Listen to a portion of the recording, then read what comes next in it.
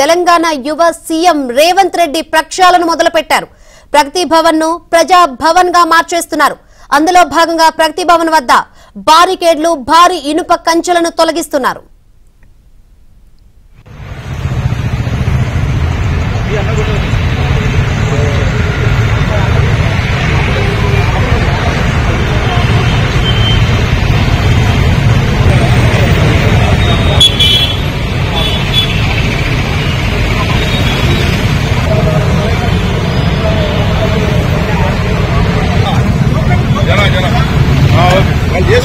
దూరం జరుగుతుంది మీకు వీడియో? దానిపై మీద పడకండి.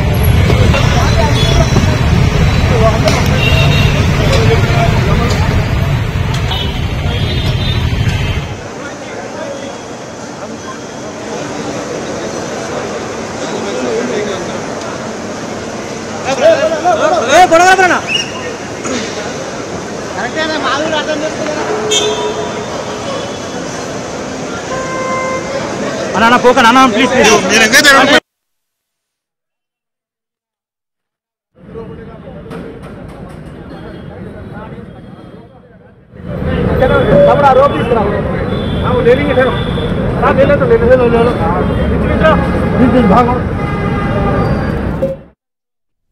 తెలంగాణ యువ సీఎం రేవంత్ రెడ్డి ప్రక్షాళన మొదలుపెట్టారు. ప్రగతి భవన్ను ప్రజా భవన్గా మార్చేస్తున్నారు. అందులో భాగంగా ప్రగతి భవన్ వద్ద బారికేడ్లు భారీ ఇనుప కంచులను తొలగిస్తున్నారు. మనం ఏబిఎన్ స్క్రీన్ మీద చూస్తున్నాం భారీ కేడ్లను భారీ కంచులను తొలగిస్తున్నారు ప్రొక్లైన్లతో. ఇప్పటి నుంచి ప్రగతి భవన్ కాస్త ప్రజాభవన్గా మార్చేస్తున్నారు.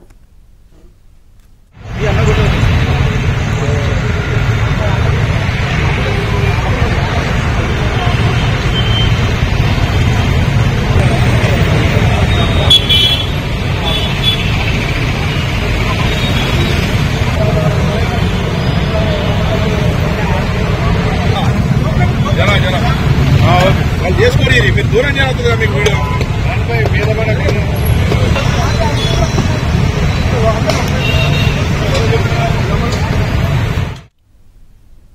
రేవంత్ నివాసం వద్ద సందడి వాతావరణం నెలకొంది రేవంత్ నివాసం వద్ద మరింత సమాచారాన్ని మా ప్రతినిధి శశిని లైవ్ ద్వారా తెలుసుకుందాం శశి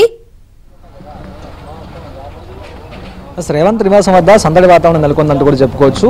ఆ, కొడంగల్ నుంచే కాకుండా వివిధ ప్రాంతాల నుంచి ఆయన రేవంత్ రెడ్డికి సంబంధించినటువంటి అభిమానులు తర్వాత కార్యకర్తలు కూడా ఇటువైపు చేరుకునే ప్రయత్నం చేశారు. అయితే ఈరోజు ఒంటి గంట నాలుగు నిమిషాలకు ప్రమాణ స్వీకారం ఉండడంతో అక్కడే రేవంత్ రెడ్డి అక్కడే ఉంటాడు కాబట్టి సో వీరంతా కూడా రేవంత్ రెడ్డి నివాసం నుంచి ఎల్బీ స్టేడియంకు తరలి వెళ్ళినటువంటి నేపథ్యం అయితే ఉంది. అయితే ఇప్పటికే రేవంత్ రెడ్డి శంషాబాద్ విమానాశ్రయంలో ఉన్నారు. అయితే ప్రమాణ స్వీకారానికి వచ్చేటటువంటి ఏఐసిసి అగ్రనేతలతో పాటు వివిధ రాష్ట్రాలకు సంబంధించినటువంటి సీఎంలకు స్వాగతం పలకడానికి రేవంత్ రెడ్డి ప్రస్తుతం శంషాబాద్ ఎయిర్పోర్ట్లోనే ఉన్నారు. కొద్దిసేపటి క్రితమే హిమాచల్ ప్రదేశ్కు సంబంధించినటువంటి సీఎం కూడాను వచ్చారు. ఆయన కూడా స్వాగతం పలికిన తర్వాత ఇక నేరుగా శంషాబాద్ ఎయిర్పోర్ట్ నుంచి అటు నుంచి ఎల్బీ స్టేడియంకి వెళ్ళేటటువంటి అవకాశాలు అయితే ప్రస్తుతం స్పష్టంగా కనిపిస్తున్నాయి. అయితే ముందుగా అనుకున్నటువంటి షెడ్యూల్ ప్రకారం రేవంత్ రెడ్డి ఇటు శంషాబాద్ ఎయిర్పోర్ట్ నుంచి తాజ్ కృష్ణకు వచ్చి తాజ్ కృష్ణ నుంచి తన నివాసానికి వచ్చిన తర్వాత జూబ్లీస్ పెద్దమ్మ తల్లి ఆలయంలో ప్రత్యేక పూజలు చేస్తారంటూ కూడా ముందుగానే భావించారు. అయితే వచ్చేటటువంటి అతిథులు ఏవైతే ఉన్నారో వారందరినీ కూడా స్వాగతం పలకడానికి శంషాబాద్ ఎయిర్పోర్ట్లోనే రేవంత్ రెడ్డి ఉండిపోవాల్సిన ఉండిపోవాల్సినటువంటి సందర్భం ఏర్పడింది కాబట్టి ఇలాంటి సమయంలో ఇక తిరిగి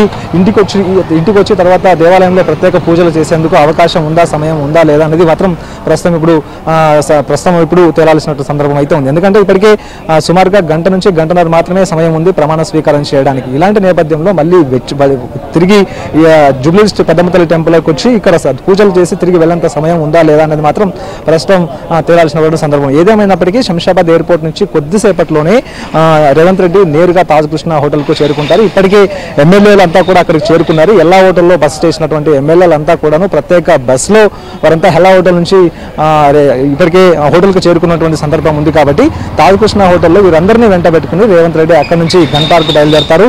గన్లో అమరవీరుల స్థూపానికి నివాళులు అర్పించిన తర్వాత అక్కడ నుంచి ఎల్బీ స్టేడియానికి వెళ్తారు. ఎల్బీ స్టేడియంలో సుమారుగా అనుకున్నటువంటి సమయం ప్రకారమే ఒక ఒంటి గంట నాలుగు నిమిషాలకు ఆయన ప్రమాణ స్వీకారాన్ని పూర్తి చేస్తారు. ఇక ప్రమాణ స్వీకారానికి సంబంధించి ఇప్పటికే ఏర్పాట్లు ఏర్పాట్లన్నీ పూర్తయిపోయాయి. ఇప్పటికీ సందర్శకులను తర్వాత ప్రజానీకాన్ని కూడా లోపల అనుమతిస్తున్నటువంటి నేపథ్యం కూడా కనిపిస్తోంది. ఇక ఇదే కాకుండా ఇక ఎల్బీ స్టేడియం చుట్టూ కూడా పరిసర ప్రాంతాల్లో ట్రాఫిక్ ఆంక్షలను విధించారు పోలీసులు.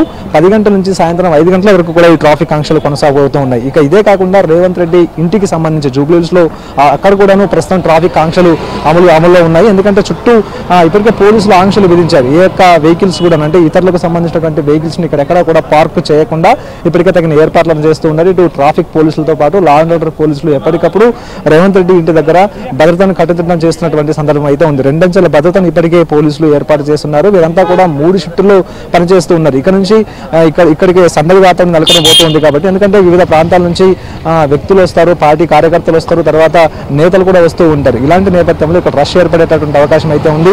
సో భద్రత దృష్ట్యా ముందుగా వారందరినీ కూడా తనిఖీ చేసి లోపలికి పంపించాల్సినటువంటి అవసరాలు ఉంటాయి కాబట్టి అందుకు అనుగుణంగానే ఇప్పటికే భద్రతా ఏర్పాట్లను కూడా ఇక్కడ ఏర్పాటు చేసినటువంటి సందర్భం అయితే ఉంది. మొత్తానికి రెండంచెల భద్రతను ఏర్పాటు చేశారు. సుమారుగా మూడు షిఫ్టుల్లో ఒక్కొక్క షిఫ్ట్లో సుమారుగా నలభై నుంచి యాభై మంది పోలీసులు ఇక్కడ పనిచేసే విధంగా ప్రత్యేకంగా ఏర్పాట్లను అధికారులు కొనసాగించినటువంటి నేపథ్యం అయితే ఉంది. సో మొత్తానికి అనుకున్న సమయం ప్రకారమే ఒంటి గంట నాలుగు నిమిషాలకు రేవంత్ రెడ్డి ప్రమాణ స్వీకారం చేయబోతున్నారు. ప్రస్తుతం శంషాబాద్ ఎయిర్పోర్ట్లో ఉన్నారు. మరి కాసేపట్లో శంషాబాద్ ఎయిర్పోర్ట్ నుంచి బయలుదేరి తాజకృష్ణకు చేరుకుంటారు. తాజ్ కృష్ణ నుంచి ఆ, గంపరకు అమరవీరుల స్థూపానికి నివాళులు అర్పించి ఎల్బీ స్టేడియం